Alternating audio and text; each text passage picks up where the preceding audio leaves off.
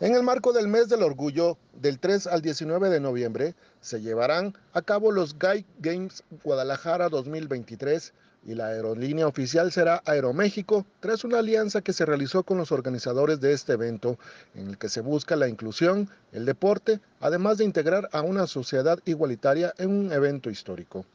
Cristian Pastrana, director senior de Asuntos Públicos de Aeroméxico mencionó que el evento a nivel mundial se lleva por primera vez en América, donde la entidad se posiciona como un destino incluyente a nivel mundial. Pero viene a colación esto porque uno de los, eh, uno de los temas, o más bien el principal tema que está en la agenda de SkyTeam, en la agenda de la IATA, es, es precisamente la sostenibilidad y, y cuando hablamos de sostenibilidad tenemos que hablar de nuestra responsabilidad eh, social y, esta, eh, y esta es, una, es una clara muestra y, orgullosamente en el estado de Jalisco y en Guadalajara de, de lo que es un verdadero compromiso social de quienes participamos. Por su parte, Mónica Sánchez, directora general de los Guy Games Guadalajara 2023, mencionó que la política de sumarse en la diversidad social y la inclusión, además de las políticas sociales en diversidad sexual que defienden los derechos igualitarios y que los gobiernos de Jalisco son incluyentes.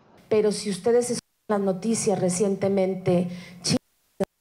su oficina de apoyo a la comunidad LGBT en nuestra comunidad la cerró hace 15 días, imagínense. En Rusia lo que está pasando, en Uganda eh, la semana pasada eh, se impulsó una ley que criminaliza con pena de muerte a cualquier persona de la comunidad. Entonces, sí necesitamos tener aliados como ustedes, como el gobierno del estado, como Zapopan, Guadalajara, para crear estos espacios seguros para que nuestra juventud, para que nuestros niños tengan una manera eh, muy sana a través del deporte. Este evento mundial tendrá la participación de 3.000 atletas de todo el mundo en 22 eventos deportivos. Las imágenes son de Eduardo Fierro para UDGTV Canal 44, Henry Saldaña.